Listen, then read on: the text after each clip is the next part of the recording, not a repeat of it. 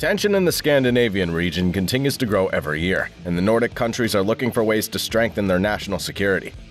This is where the JAS 39 Gripen fighters come into play, these being one of the most important components of the region's defense strategy. In today's video, we'll be telling you why this Swedish aircraft makes Russian generals nervous, especially with Sweden and Finland joining NATO. Modern fighters are usually developed by giant transatlantic consortiums of firms from around the world. Given this fact, it's particularly impressive that a country of 10 million people was able to successfully develop and maintain its own multi-role fighter program.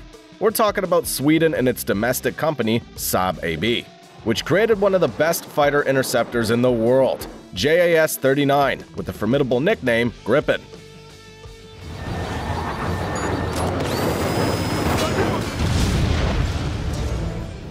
In the late 1970s, Sweden decided to replace the aging Saab J-35 Draken and Saab JA-37 Viggen fleet, feeling the need for an affordable Mach 2 and good short-field performance for a defensive dispersed basing plan in the event of an invasion.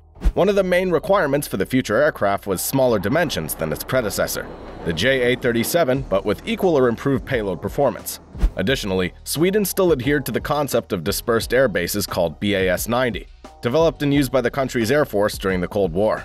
Its goal was to have about 200 airstrips of various types for military use throughout Sweden. Unlike the original idea called BAS-60 and the improved BAS-90 concept, new short runways were built in close proximity and directly connected to the main airfield and to each other via taxiways, oftentimes also with sections of public roads, usage being integrated into the underlying infrastructure. What was this for? A key goal held by the Saab team that designed the Gripen was its ability to operate from a snow-covered runway only 1,600 feet long and 55 feet wide. Spoiler alert, they did it.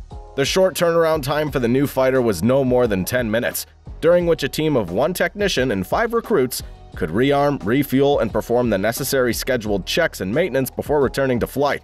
But let's go back to 1979, when the Swedish authorities began a study that soon transformed into a future air platform with the abbreviation Jakt Attack Spaning, or JAS, hinting at the multifunctionality of the device, namely air-to-air, air-to-surface, and reconnaissance. Yes, and Gripen, Griffin, did not come from nowhere, because it's this mythical beast that's flaunted on the Saab logo. Specialists formed several projects, eventually figuring out the exact necessary characteristics of the fighter. It was supposed to be a light single-engine single-seat fighter with aerodynamically unstable design and fly-by-wire, made in the duck aerodynamic scheme, like the earlier model JA-37 Viggen, and the French Dassault Rafale, which appeared in the same time period. In June 1982, after the approval of the Swedish parliament, the FMV agency signed a contract with Saab for five prototypes and the first batch of 30 production Gripen in the amount of $4.58 billion, or 27.5 billion SEK. The Canard and relatively low weight of about 15,000 pounds make the multi-purpose Gripen an extremely maneuverable aircraft, capable of flying at an angle of attack of 70 to 80 degrees. Furthermore, the intentional instability of the design, characteristic of the latest generations of combat aircraft, as well as fly-by-wire, allowed designers to eliminate many flight restrictions that worsen controllability and increase drag in the predecessors of the JAS-39. The JAS-39 engine's a Volvo RM12 bypass turbojet engine, developed on the basis of the American General Electric F404, which is the heart of the McDonnell Douglas FA-18 Hornet and Lockheed F117 Nighthawk. The fan was completely redesigned with thickened first stage blades which deform, causing the thrust loss, but do not fracture or cause downstream damage to pass more flow for higher thrust and to be more tolerant of a bird strike. Engine subsystems and components were redesigned for ease of maintenance, and its modular design, dividing the engine into seven separate parts, allows them to be replaced independently, also, while the JAS-39 is not stealthy, the RM-12's intakes are designed to minimize radar reflection from its fan, reducing the aircraft's overall radar cross-section. By 2010, according to a Volvo Aero spokesman, Gripen fighters had flown over 143,000 hours without a single RM-12 engine failure or incident. He emphasized that this must be a hard record to beat for a single-engine application. However, future aircraft modifications, JAS-39E and JAS-39F, were equipped with more powerful General Electric RM16, also known as F414 GE39E. They gave the Gripen 20% more thrust than the RM12, allowing the aircraft to supercruise at supersonic speeds without the use of afterburners. In other words, now the Swedish fighter could carry out combat duty at a speed of Mach 1.1, carrying an air-to-air combat load. By the way, about that, in addition to the 27mm Mauser BK-27 cannon, the Gripen can carry AIM-9 Sidewinder air-to-air missiles, AGM-65 Maverick air-to-ground missiles, and RBS-15 anti-ship missiles. But after a major upgrade of the JAS-39 weapons completed in 2010, the aircraft could be equipped with European long-range MBDA Meteor missiles, short-range IRIS-T missiles, as well as GBU-49 laser-guided bombs of the Paveway series. Often, the JAS-39 carries about 14,330 pounds of various weapons and equipment, including external sensors for reconnaissance and target designation. For example, Litening Targeting Pod from Israeli Rafael, Modular Reconnaissance Pod System from Saab, or Digital Joint Reconnaissance Pod from French Thales.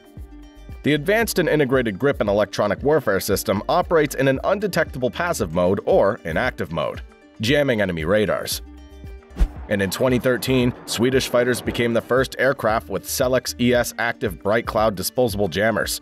In addition to this, in 2014, the JAS-39 was equipped with a self-defense module with enhanced survivability technology, designed to counter defensive missiles. The Saab team described the Gripen as a swing role aircraft, capable of instantly switching between roles at the touch of a button, while changing the human-machine interface and optimizing with the computer in response to different situations and threats. In order to give their offspring a service life of at least 50 years, Saab engineers designed it with minimal maintenance requirements. Its main systems in the form of engines and radar are modular to reduce operating costs and increase the reliability of the device. That is, even despite a solid service life, the latest sensors, computers, and weapons can still be integrated into Swedish fighters as these technologies develop. One of the main factors behind why the Gripen attracts many foreign customers even today is most certainly its low operating costs. According to Aviation Magazine Flygrevyn's issue for 2021, the price of a JAS 39 flight hour is no more than $5,000, an insanely low figure compared to its colleagues, such as the American F 35 with a figure of $41,986 per hour, FA 18E F with a price of $30,404 per hour, and even the European Eurofighter Typhoon, which according to various sources eats up about $20,000 per flight hour. By 2016, Sweden had delivered 158 aircraft to other countries, and the current Gripen operators today are Brazil, Czech Republic, Hungary, South Africa, Thailand, and the UK. If we're talking about the price of the fighter itself, then today, a modification of the American F-35A Lightning II will cost foreign buyers $70.2 million, while the price for one Gripen is significantly more, about $85 million. On the other hand, the cost of its operation, as we found out earlier, is incomparably lower. Since the appearance of the first Gripen in the sky in December of 1988 up to 2020, Saab has delivered more than 271 of these fighters, and the devices themselves have received many modifications. The original versions of the JAS-39A entered service with the Swedish Air Force in 1996, and were later upgraded to the JAS-39C or JAS-39D standard. The JAS-39C, which appeared in September of 2002, is a single-seat version of the fighter jet compliant with NATO standards, with advanced weapons and electronic capabilities, as well as in-flight refueling capability. The JAS-39D is a two-seat version of the JAS-39C, but without the internal cannon and fuel tank, due to the placement of a second crew member and life support system, due to which the airframe was lengthened by 2.2 feet. The Gripen Next Generation, or NG, now designated JAS-39E and JAS-39F, was the first iteration of the original to receive a major redesign with a larger fuselage, more powerful F414G engine, Raven ES-05 AESA radar, two additional hardpoints and increased payload, and new cockpit, avionics architecture, electronic warfare system, and other improvements depending on the needs of the operating countries. Other modifications include Gripen Aggressor, the weaponless JAS-39C and JAS-39D models for red cells, for the UK's Air Support to Defence Operational Training ASDOT requirement, and part of the US Air Force's Adversary Air ADAIR opportunity. Gripen Maritime, a version of the fighter proposed as an aircraft carrier of interest to Brazil and India. Gripen's UCAV is an unnamed modification of the JAS-39 proposed by Saab. Gripen EA, electronic warfare or electronic attack version of the JAS 39. Since the end of the Cold War, neutral Sweden has weakened its military posture by cutting defense spending and conducting fewer exercises, focusing on domestic issues, anticipating a period of security calm. But in recent decades, Russia's increasingly demonstrated its immense territorial hunger, showing maximum aggression towards all European neighbors, annexing Crimea, invading Georgia, and then attacking Ukraine. Seeing this, Sweden's rapidly increasing its readiness and ability to conduct active military operations in order to repel a potential attack from its aggressive neighbor. Regularly posturing nuclear weapons. Take the incident that occurred in March 2013, when Russian Tu-23M3 backfire bombers and CY-27 flanker fighters staged an unannounced simulated nuclear strike on Stockholm and other alleged targets in southern Sweden.